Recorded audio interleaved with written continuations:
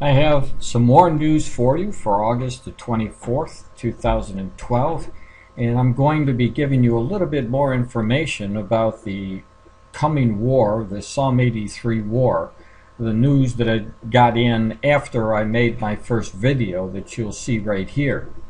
So my second video will be placed at the bottom of this so that you can see all of the information contained in one site here. But before I get into that prophecy about the Psalm 83 war, I want to get into another one. Uh, this prophecy, many of you who've been at my site know that I've been providing you with detailed information about the famines, the droughts, the lack of water, intense heat, and how this these circumstances are causing food prices to skyrocket like we've never seen before.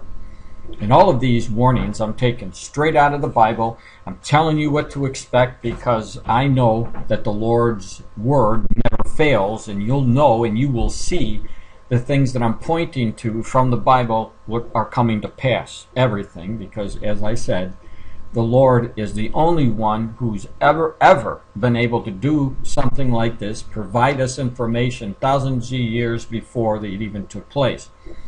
But here in Revelation 16:8, we are we're privy to some of the information of what it's going to look like during the tribulation if you're left behind. And the Lord says the fourth angel poured out his bowl on the sun, and the sun was given power to scorch people with fire. In Revelation chapter 7, verse 16, it says, Never again will they hunger. So that means that the people who were in the tribulation, they were hungry. Never again will they thirst. Obviously, the water is going to shrink up because of the intense heat, the scorching of the sun, as it tells us in other places in the Bible. And so people are going to be thirsty. And the sun will not beat on them, nor any scorching heat, as I just mentioned, scorching heat. And so, what I wanted to point out, one of the articles that just came up, it says the U.S. drought has gotten so bad you can see it from space. Now, I'm going to go to my site so that you can get a good glimpse of what the Lord is showing us through his current events. I mean, obviously, if the Lord said, keep on the watch, keep on the watch, and you're watching, that means if you know what to watch for, you're going to see the very things that he asked you to watch for, and here they are. One of them, the drought, massive droughts that are taking place. Now, what you're seeing here is the Mississippi River is a picture of how it, it flows like this and you'll you'll have a chance to look at it more closely but here's one of the levees there.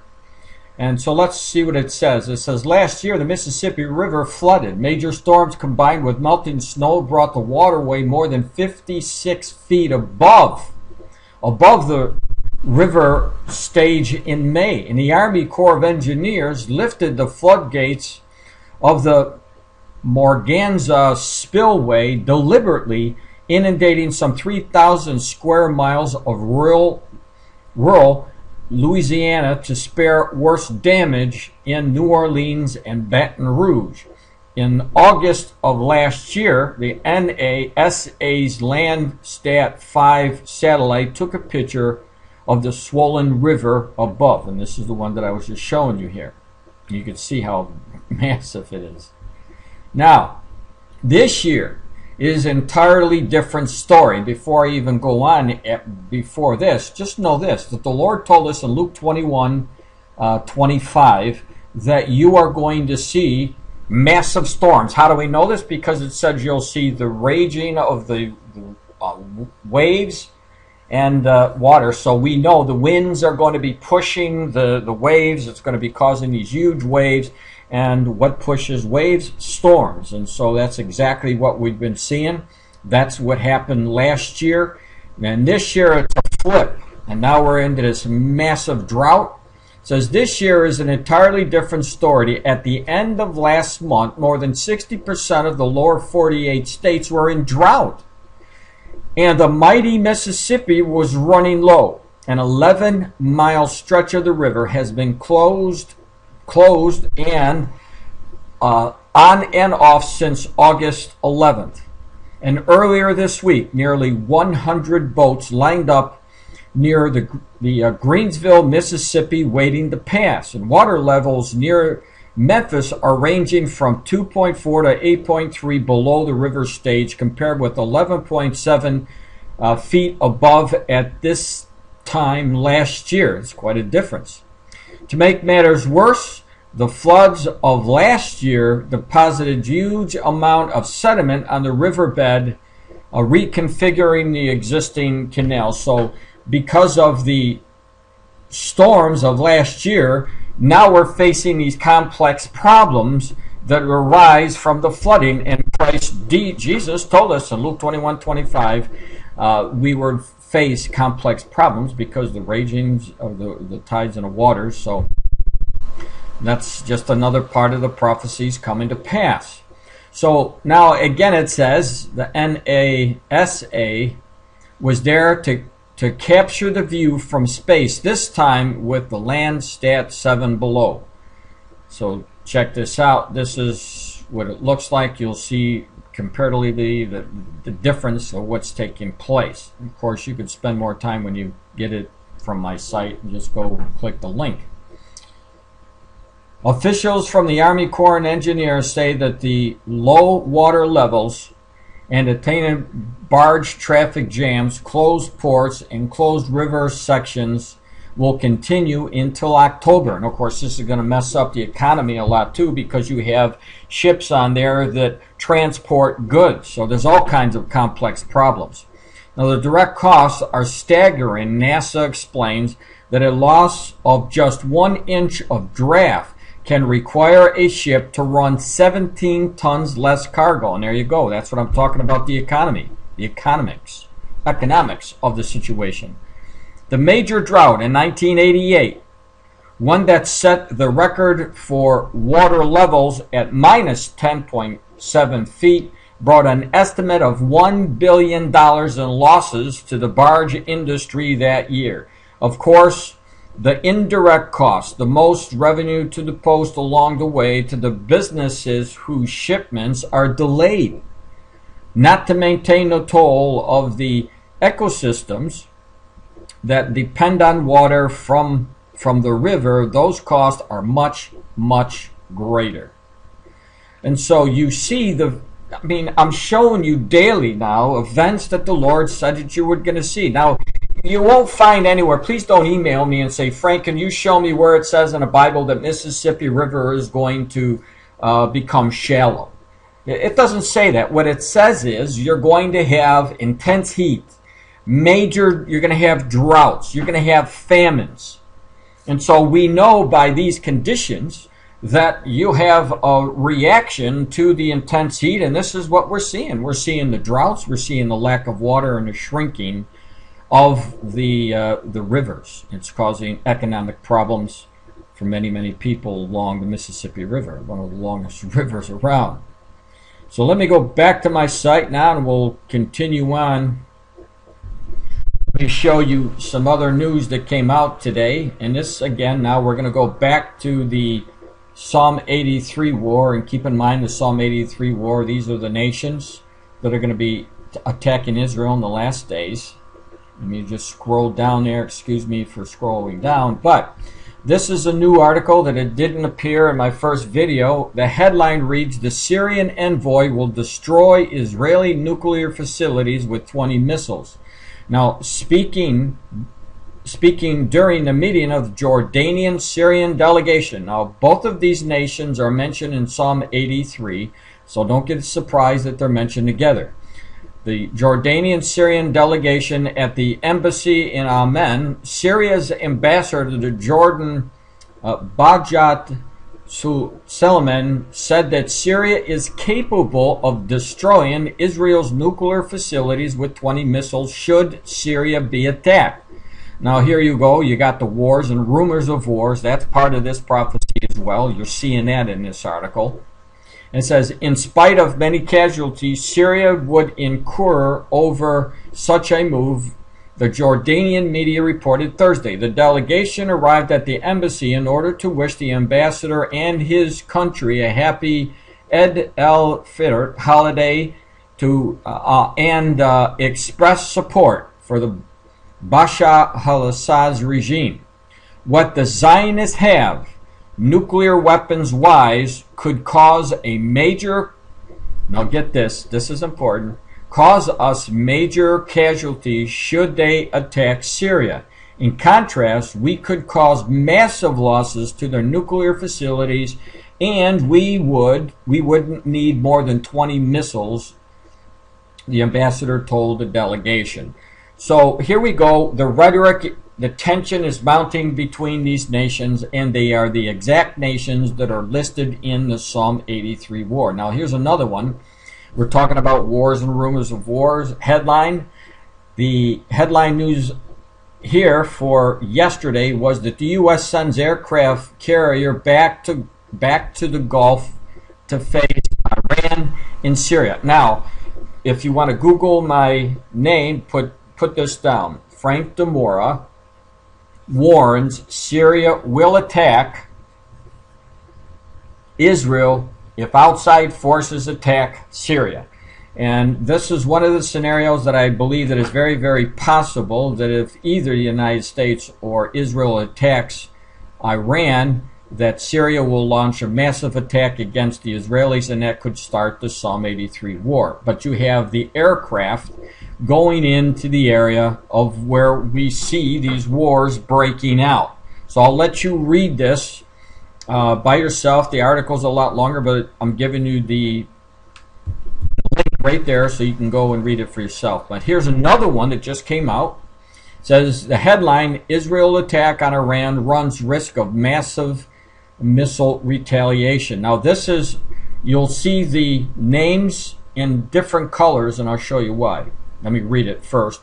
If Israel attacks Iran, the Israeli heartland could face retaliation from more than 10,000 missiles based in Iran. Syria, here we go, this is the first one. Syria is in the Psalm 83 war.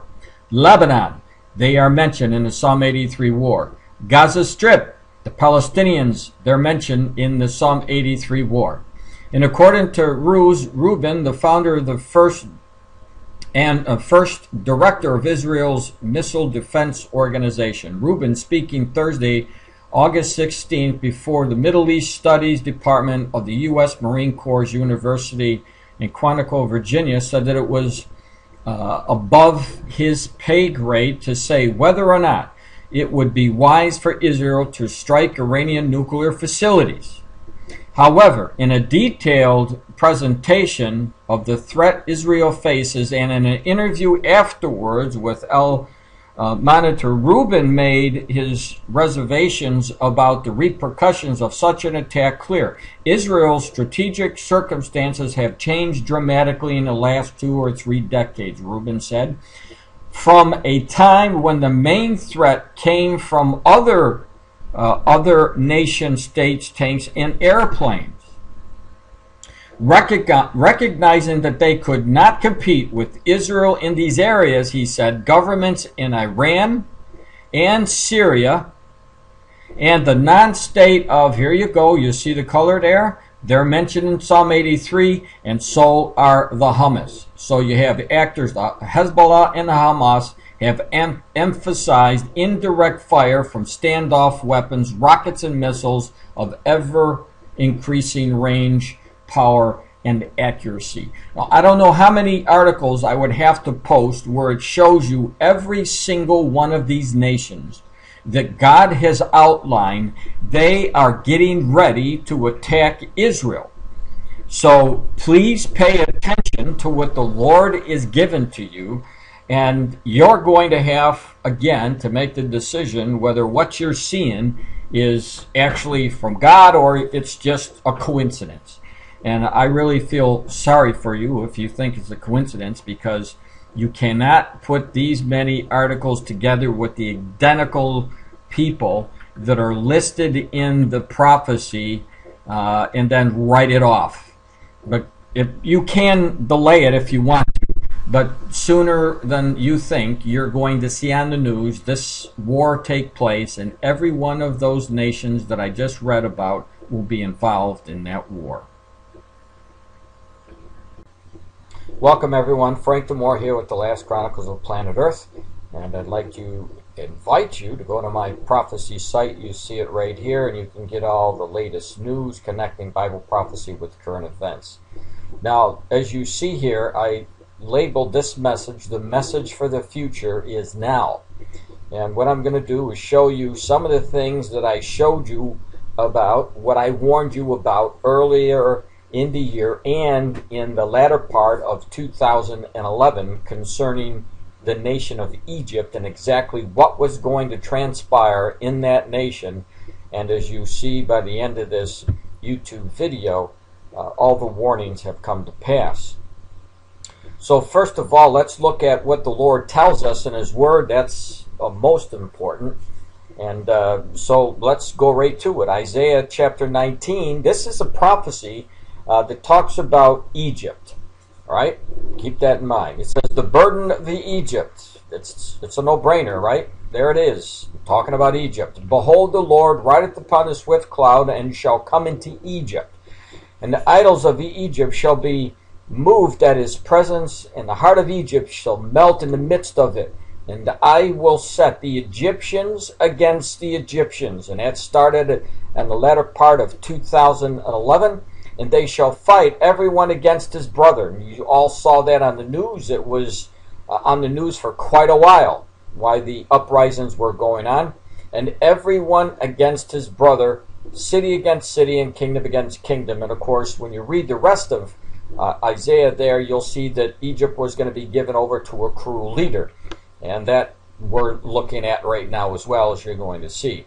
But for those of you who are new at my site, I just wanted to tell you that the Psalm 83 war, of which e- Egypt is going to be involved in, all the names of those nations that will be attacking Israel in the Psalm 83 war are listed right here to the left.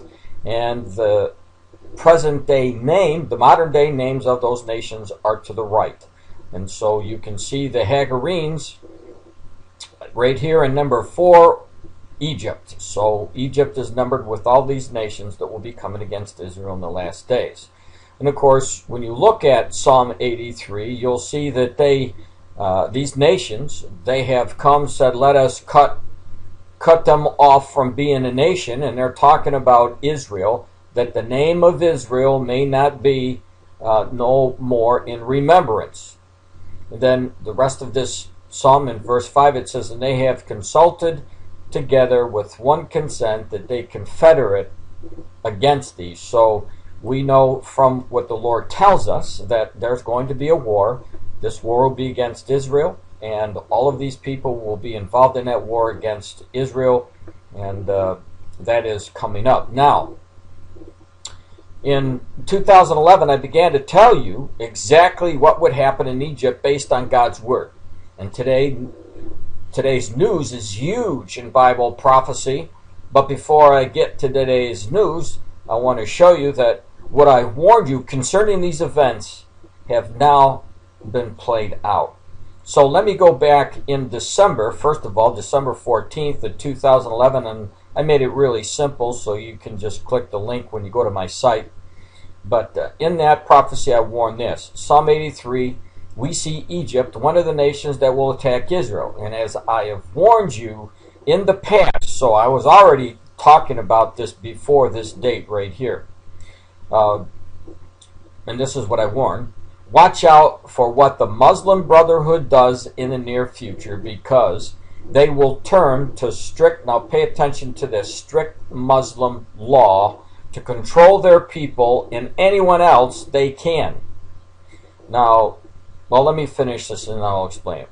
If you plan to visit Egypt anytime soon, you better read this report. The Muslim Brotherhood, which won success in its first round of preliminary elections in Egypt last month, is reportedly set on turning the country's holiday holiday resort sin free.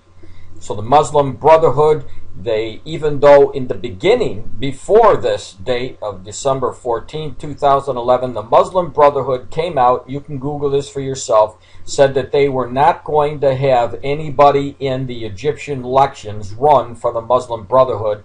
Of course, before this date, I told you that that was going to be a lie, and that turned out to be the truth as well because Muslim Brotherhood did enter into the race, and you're going to see the outcome of what I told you a little later on.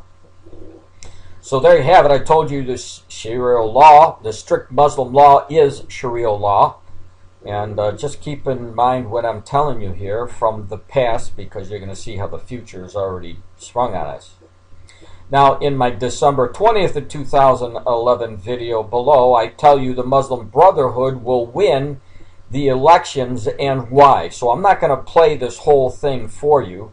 Uh, it isn't. It's not really that long, but please, if if you will, just click on that and go to that video because you will see a lot of information how I talk about the peace process breaking down and how the Muslim Brotherhood is going to take over and all of that has come to pass. Now, in my warning of January the uh, 2012, remember we were up here in 2011, and of course the preliminary elections were just being held for Egypt, but I was telling the people who was going to win even before that por- uh, that portion of time. So, again, in January, this is what I wrote. Psalm 83, we know Egypt will attack Israel in the near future with the other Arab nations that border Israel. I am keeping you posted as to who is winning the vote for Egypt's new election for their new government. Now, they were going again through the preliminary uh, elections. As I warned, the Muslim Brotherhood is still out in front, and uh, and now the last phase of the voting is taking place, and the word is the Muslim Brotherhood is still in the lead. Now, it didn't surprise me at all, for and for those of you who have been with me all this time, you knew that it didn't surprise you either because I already told you what was going to happen, and again, based on the word of the Lord. Why is this important? Because the Muslim Brotherhood is bent on getting rid of Israel.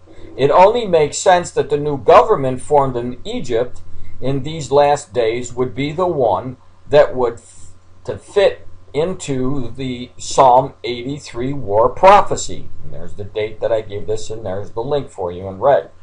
Then again in January 2012, I wrote this. Paul makes it clear that at the time when you hear the call on peace and safety, that would be the time a sudden destruction will come. And Psalm 83 makes it very clear who is going to come against Israel in the last days. As I mentioned, Egypt is one of the nations that will try to destroy Israel. And if you know Egypt is one of the nations that will attack Israel, you should have understood that any peace agreement, please pay attention to this, any peace agreement between Israel and Egypt will disappear. So let's take a look at what one Hezbollah official said, and then I ended it there. And there you can read the rest of the report by going there. Now, I wanted to go, the reason I wanted to highlight about this, me warning you that the peace agreement is going away, you're going to see that. But let's go to the January 1st, 2012. Again, another post that I put up about these matters. The Muslim Brotherhood movement may bring uh, bring the fate of Egypt's peace treaty to a referendum. Now, back in January, they had already started to talk about this peace process that was uh, formed be- between Menachem Begin of the Israel and then Anwar Sadat from Egypt.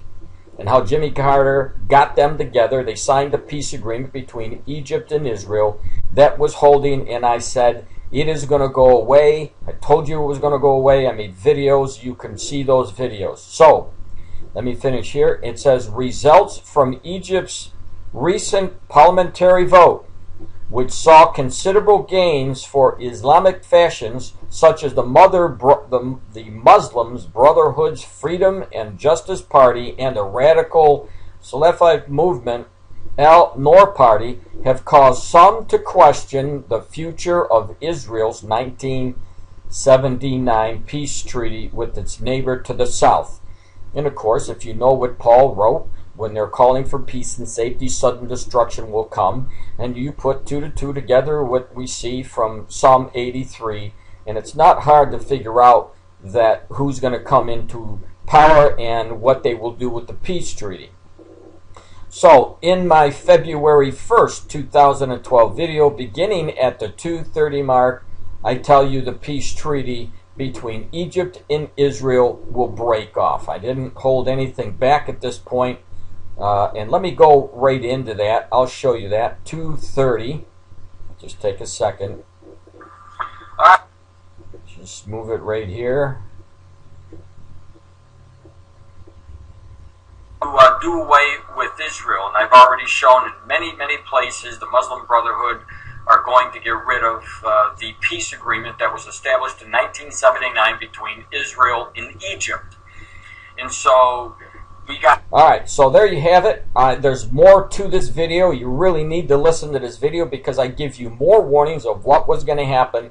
But I just wanted to show you way back in January, the beginning of the year, I was already telling you exactly what was going to happen. Now, August the 22nd, 2012, get the headline here Israel, Egypt breaking a peace treaty. It says this Israel objected Tuesday to a move by Egypt's new leaders to deploy tanks in a volatile border area, calling the action a violation of the landmark 1979 peace accord between the two nations. The SPAD is the biggest test yet of the peace agreement, a cornerstone of regional stability since Egypt's Islamic president took power in June, and plays into the Israeli fears that the treaty could be threatened down the road. That's exactly what I said was going to happen. They were already showing you uh, in many, many articles besides this that they were going to get rid of the peace agreement. Now, moving tanks into the Sinai area is a violation of those agreements so you can see the direction that it's going, and it's the direction that the Lord showed us heading towards the Psalm 83 prophecy. And of course, here's the whole headline. Just click that when you go to there. But when you notice this article, it's talking about the Islamic leaders, which is Morsi, who got elected in June of this year. Muslim Brotherhood got elected. Exactly what I said was going to happen. And when I said that they were going to install Sharia law, that's what they plan to do. I said this over a year ago. They're moving in that same direction. They fulfilled everything that I told you. The future is now. We've seen it happen. Now, in June 24th, 2012, it, you'll see this article. It says Muslim Brotherhood's Mohammed Morsi wins Egypt's president's race. Okay, so that should squell or stop anyone from saying that you know who's the president of Egypt now, because in June 24th. Uh, that came to fruition, the thing that I told you about, again, based on what the Lord had showed us. So in August 4th of 2012, I set up my prophecy uh, post again, talking about Psalm 83 war, and this is what I said then. Prophecy sign. Uh, it, it's actually the same. I'm not going to read it because I already read this to you, but it's talking about the the war about uh, Psalm 83 war, and this is what I posted here. All right, I put the sign up here. This is my doing. Uh, in many of my posts in the beginning of 2012, I warned you Egypt's new president would be a Muslim Brotherhood government and they would install Islamic law. I warned you this because Psalm 83 shows that Egypt will be one of the nations who comes against Israel. And knowing this, I could see where the future was headed. Now I knew we could also say goodbye to the Israeli Egyptian peace agreement that was set uh, installed in 1979. Sure enough, what I warned you based on what I know from scripture, Egypt not only has installed the Muslim Brotherhood president, but the new Egyptian constitution is becoming one of Islamic Sharia law. And of course, Sharia law calls for, calls for the destruction of all Jews and we are moving quickly toward the Psalm 83 war, and this is where I ended that quote. Now, getting to today's news, and here we are today of October or I'm sorry, uh, August the 24th, it says this the headline Analyst Brotherhood takes total control of Egypt. Now, Isaiah 19 told us that Egypt was going to fight against themselves. That happened. They were going to be in conflict with their nation, their brothers fighting against brothers, the kingdom against the kingdom, which means civil unrest. That happened. And as far as the crew leader, guess what? Morsi fits the bill here. With with rise of Morsi, a new dictatorship may be replacing the old while world persists in looking for signs of pragmatism. Says while the world persists in looking for signs of pragmatism in Egypt, in the Egypt, the Egyptian president Mohamed Morsi is quietly taking over all the power bases in the country.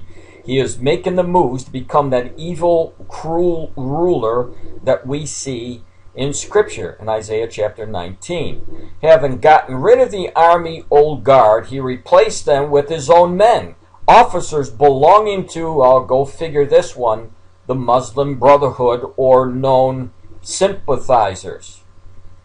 All right, so you go back to the early part of the of uh, 2012 or latter part of 2011 when the Muslim Brotherhood said we're not even going to put, up a candidate. Uh, we knew that that time that was a lie. And everything that they have said so far has turned out to be a lie. Because they're doing exactly what the Lord said that they were going to do from Isaiah chapter 19.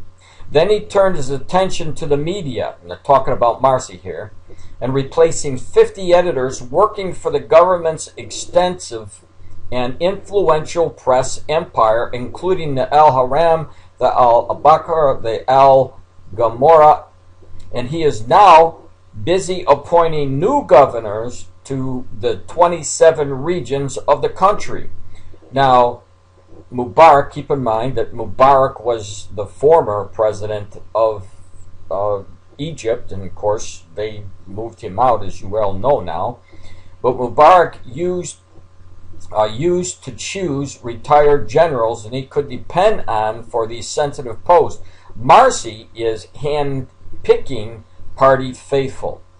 At the same time, upper echelons in the government ministries and economic and cultural organizations are methodically being replaced. In other words, they're replacing them with who? Guess what? The radical Muslim Brotherhood who hates Israel. Now, the Muslim Brotherhood is the fast assuming total control. And what else is new? All you have to do is read Isaiah chapter 19.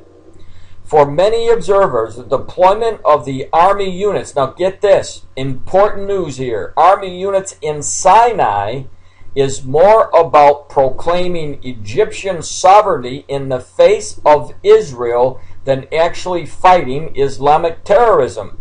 In other words, what the Muslim Brotherhood is doing is they're making gestures against the Israelis, and this shouldn't blow your mind because Jesus talked about kingdom against kingdom and wars and rumors of wars. And of course, one of those wars is the Psalm 83 war, of which Egypt is going to play a major role in.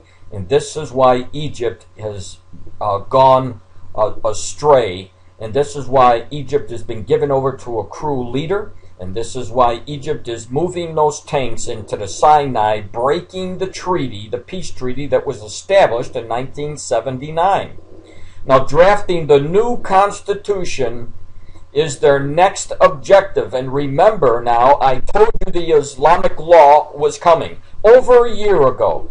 And brothers and Shias make up an absolute majority in the Constitutional Assembly liberal and the secular forces are boycotting its sessions, and the Supreme Constitutional Court is examining a request to have it dissolved since it does not conform to the Constitution because of its over overly Islamic uh, composition. A decision it is expected into in September. Now the Assembly, however, is not waiting. According to the various leaks, it is putting the final touch to the Constitution where laws have to conform, get this, Sharia, and special committees will supervise the media and forbid any, get this, forbid any criticism of Islam and of the Prophet. All right? So, what you have here, I'm, I'm hoping that I'm getting this message to you. Because if you know the word of the Lord, you can flat out tell the people what's going to happen in the future. The Lord told us that before he does anything, he's going to tell the prophets. Well, the prophets told us what was going to take place. It's already written down. I'm not the prophet. All I'm doing is showing you what the prophets had to say, making it easy for you to understand. Now, in the wings is the creation of a committee of Islamic sages supervising the law, making progress, and uh, effect avoiding of substance in parliament elect, elected by the people, though it is not clear yet if, when, and how it will work. What is clear is that the parliament made of flesh and blood individuals is against the very nature of the Sharia, where all laws are based on the Quran and the Hadiths. This is a far cry from the Universal Declaration of Human Rights. So, you know, they got rid of Mubarak and they got they installed somebody who's far worse. Now, at least during Mubarak, Christians had a chance, or anyone who did not worship uh, their God Allah. But under the cruel leader and under the Morsi government, they have already uh, went and installed, saying that they're going to install again crucifying people. Anyone who opposes him will be crucified. Anybody who is a Christian they they already are telling us what they're going to do. This is cruelty in its utterest form. Morsi has been careful to speak about Uh, about creating a civil society. It is now obvious that what he meant was a society not ruled by the army and not a secular society. Indeed, he had promised to appoint a woman. And back then I said, no, this isn't going to happen. No way, because the Islamic consider a woman secondary. So when he appointed, when he promised he was going to appoint a woman, I knew that that was a lie. So appointed a woman to the COP as vice presidents, but chose Muhammad Makki, the, the Sunni known for his sympathy for, guess what, the Muslim Brotherhood. All right? And incidentally, or not, the brother of the new Minister of Justice, Professor Hasham Hamek, or Mekki, known for his independent stands in opposition to Mubarak, but who had carefully concealed his support for the brothers. So here you go, people. Everything that I told you that was going to happen way back in 2011, it has already happened. Now, let me just show you this for a second. Take a look, a gander at Psalm 83.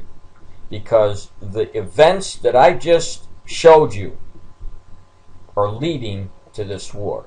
Now, there were many people who didn't believe what I said over a year ago about what was going to happen with Egypt.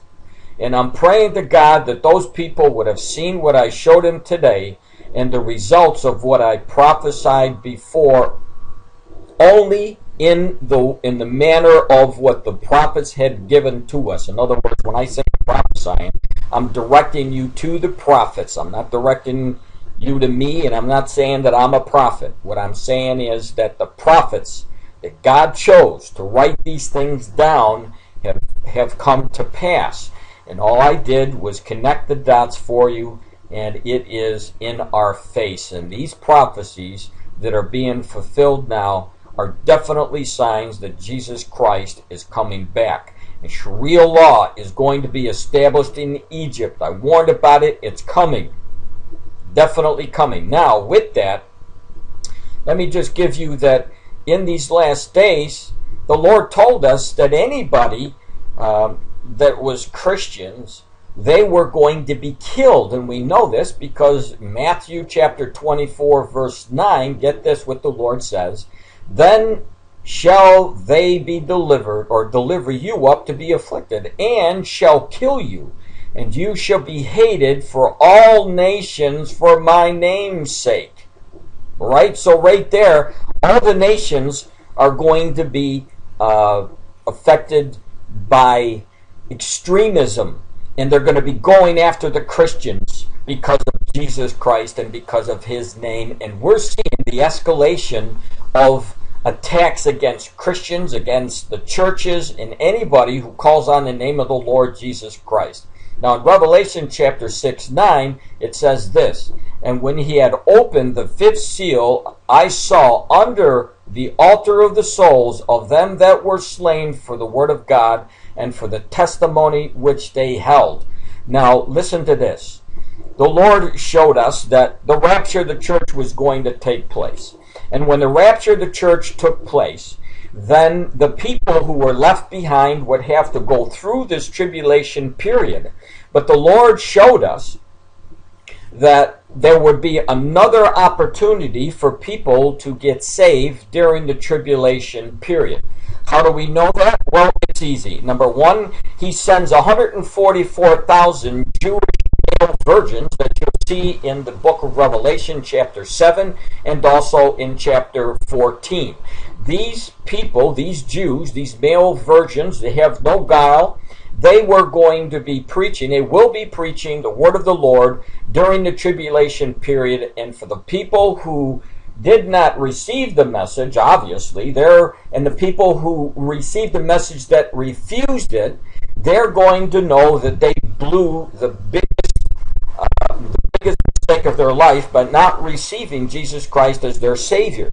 And they are going to understand what's going to happen to them during the tribulation period. And there will be many, many people who did not listen to the message of salvation now that when they get into the tribulation, they are going to know that the only way that they can be saved is to reject the mark of the beast. And this is why the angel in the book of Revelation, we see that Jesus sends angels warning the people on the earth do not take that mark.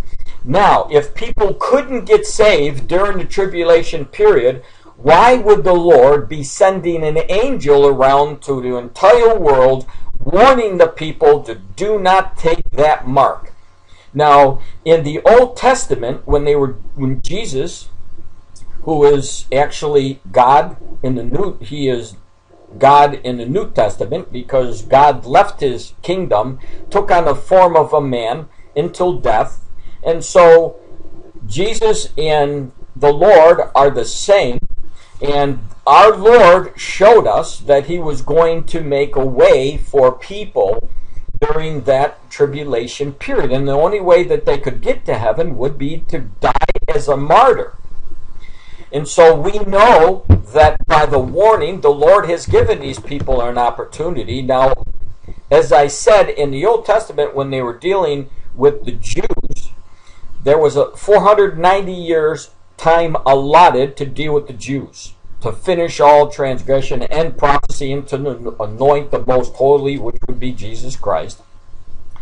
And so all of these things had to come to pass, the 490 years. Now, God dealt with the Jews for 484 years. He finished that when he, that at least that time period when he was killed in Jerusalem in 32 AD. The time clock dealing with the Jews stopped. And so we only have seven years left. Now, in the Old Testament, they were saved or their sins were forgiven by the sacrifices, the atoning of blood, the, the, the killing of the lambs, and so forth.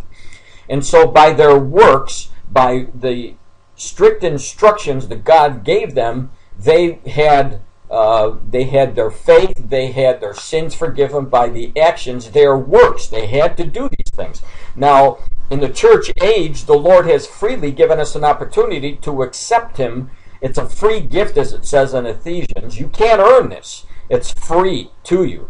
But when the church is gone, when the church is raptured out of the way, we know again that God is going to begin dealing with the Jews as he did in the Old Testament, and it will be by their works, demonstration of their works. Now, what are the works?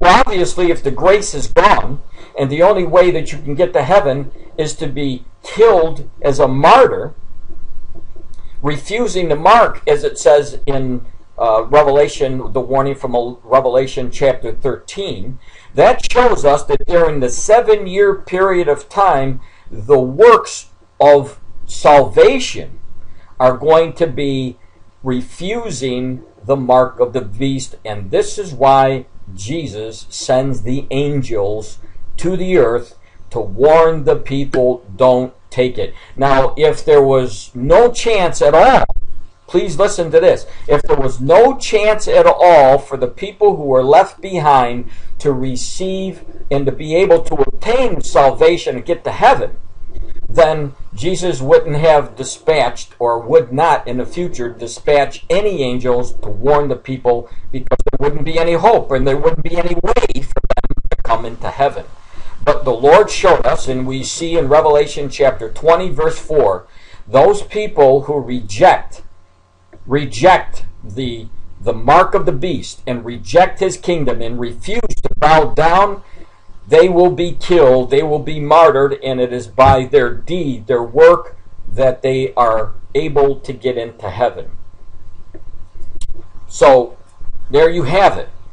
We have in these last days persecution coming, but it will be horrendous during the tribulation period when the Antichrist goes after not only the Christians, but he's going to turn on every single person on this planet, and that includes the Muslims. Because we know from the book of Daniel that, that when this Antichrist comes, the Satan is going to incarnate this man. So you're going to have Satan on this planet, and he is going to go after everyone. Not just the Christians, but everyone, the Muslims, the Buddhists, everybody on this planet who has been left behind, he goes after them to try to destroy them. So, in the meantime, we see this persecution starting, and it's generating a lot of attention lately because there's a lot of attacks going on with Christians. Now, yesterday I put up a little bit of information how there was a young girl who was mentally challenged that they the Muslims jailed uh, for blasphemy. And this this is really you know sickening news. But today there's another case. A Christian boy was tortured and killed in Pakistan.